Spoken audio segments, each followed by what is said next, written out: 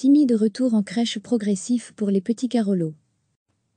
Le début du déconfinement, c'est aussi le retour progressif des enfants dans les crèches.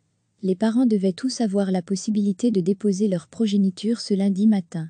Mais, dans les faits, le retour est très progressif.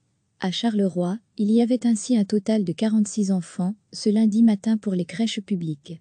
Tous rassemblés dans le même bâtiment, mais par groupe de 10 maximum. 46 c'est le double de la semaine dernière, mais à peine 10% de la présence habituelle.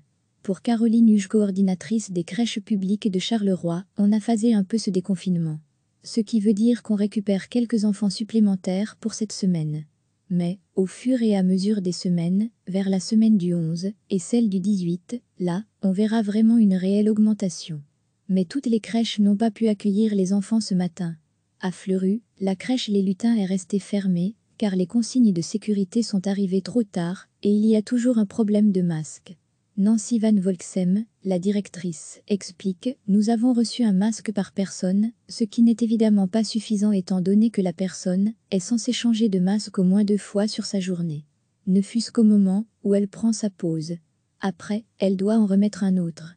Quelques jours de délai supplémentaire donc pour un retour en crèche, on l'a dit, très progressif degré degré degré à lire aussi, notre dossier spécial coronavirus recevez, chaque matin l'essentiel de l'actualité.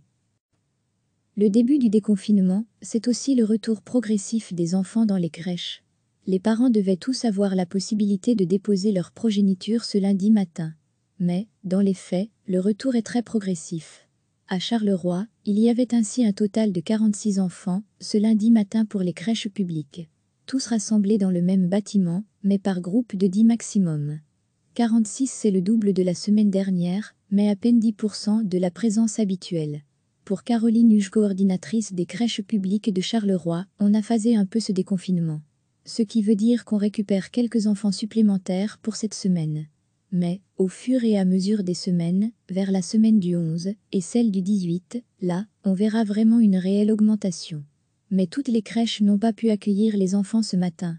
À Fleurus, la crèche Les Lutins est restée fermée, car les consignes de sécurité sont arrivées trop tard, et il y a toujours un problème de masque.